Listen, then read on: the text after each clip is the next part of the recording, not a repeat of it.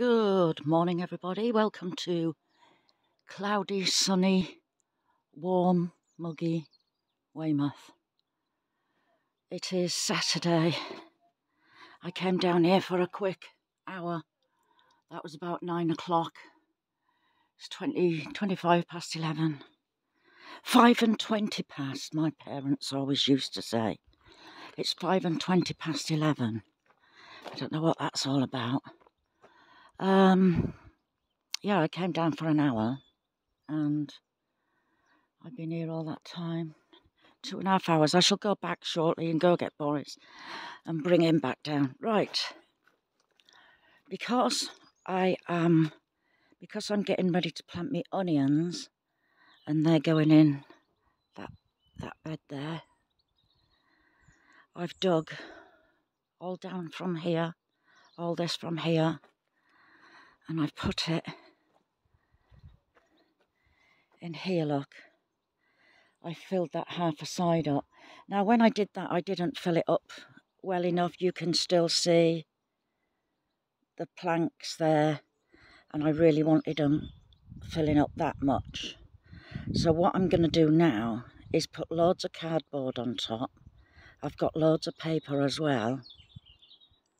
And then when I've done that, I'm going to put them unopened on top of it and that will like flatten it down quicker. Um, I won't need any more in there this year. I will probably have to just keep topping it up every year. Um, but yes, I'm going to get that side done. And then when I'm ready to plant my onions out, then I shall open them bags and tip them on. So, let's go get my cardboard. To say this is all out of my compost heap that isn't quite ready, it is quite nice compost. Not 100% ready, but, you know, there's still a lot of twigs in it and everything, but I bet I could sieve that. There's a lot of plastic in it, and I think that's where I put the um, cardboard in and not taken the sellotape off. I mean, there is still quite a few twigs in, in everything, but that's fine. That's okay. Right, so I'm going to put the cardboard on. I haven't got my normal uh, stand, so I'm going to just put you over here while I put my cardboard on. Okay, so I put about five to seven layers on something like that. I know it looks a bit full, but once I put them bags on top of it to weigh it down, it, it'll just, it will sink in no time. Um, that did.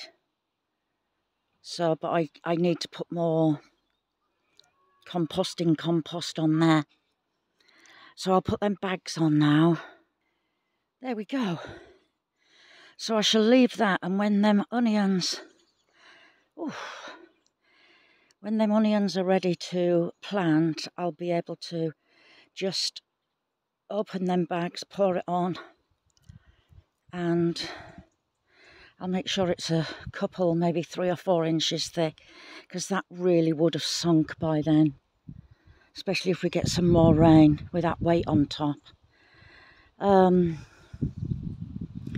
and that will house my onions, as I said this side, I haven't got a lot of compost, composting compost in here because I did put a lot of wood in there at the bottom to rot down. Um, see that leaf fall off the tree then? Grrr. Um, I forgot where I was now. Yes, I put loads of wood in it so that that could rot down. Um, and I believe that is from there onwards. So, I'm going to have to look for compost somewhere else. But that'll be okay. Hang on. I mean, if needs be, if I really do need the space, I can take the compost, the composting compost from here and start there and maybe get to there and then that you know just work my way up and put a piece of board in.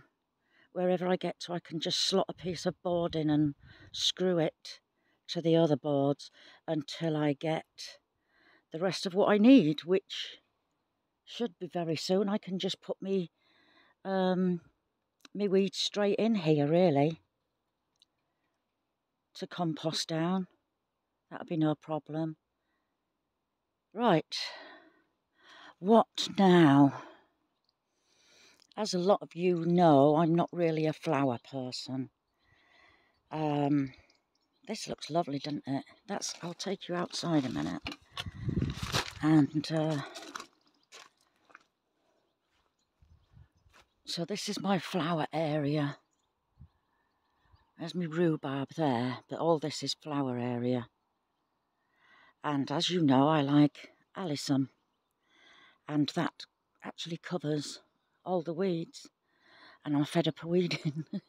So I just got half a packet of allium and other flowers as well and just threw them all over there. And of course that's the only thing that um, came up now as I've said to you before see when they start getting like this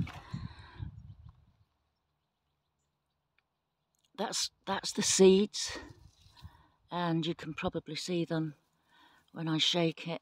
Oh, it smells delicious. There are weeds in there. Um, but yes, that all you have to do with that is pick this up, find where the stalk is, and just cut it off at the bottom. Yes, it does show all the weeds then, um, but they just grow back so quickly. If you remember, I'll have to do another one of them soon. It's um, falling to pieces.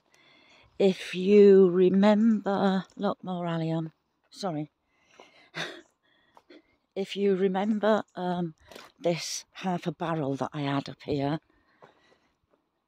um, I buried all that allium and the lobelia and I said it'd grow back. And look at that within a couple of days.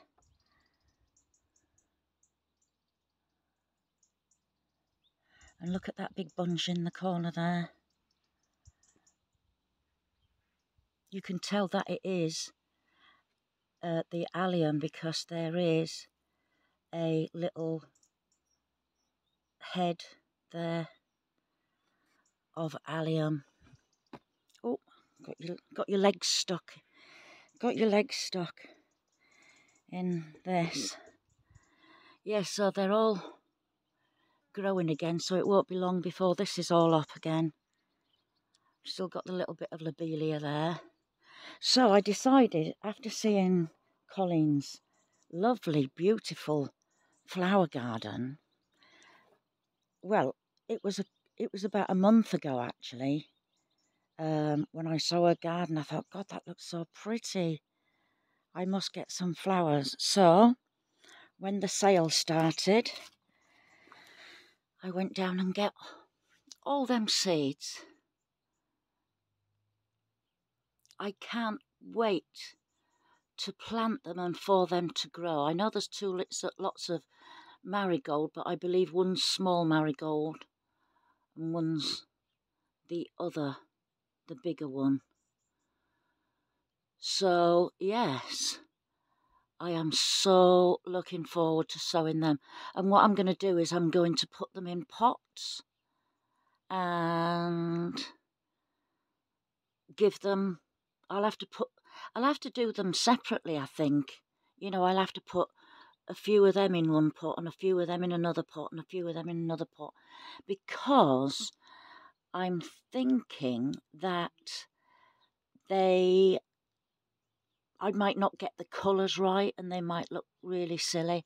That looks awesome. I love that one. It's like a teddy bear, sunflower, but not. yes, so I'll have a look round and see what other seeds I can get. And um, if they're on, if they're going cheap, which they should be now at this time of year, then yes, I shall get some. Remember this one? This is this is the one that was there. Um, I chopped all the top off of that. Look, and that that's all growing again. Even the um, this was stock, really sweet smelling. Even that's growing again. Wow. But yeah, you can see all the little, you can see all the bigger plants, but even all the tiny ones at the bottom there. So I don't think I will ever not have allium. It is a dreadful weed. So if you don't like it that much, then don't get it. Oh, and yes, I lost a trowel. Oh, last year, couldn't find it anywhere. Found it in there as I was digging all this compost out. Brilliant. Right, what now? Right, I got into my leeks yesterday to to um, weed them, and I have got.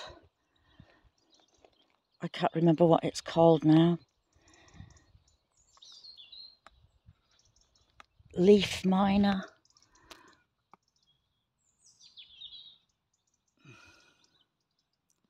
You see that?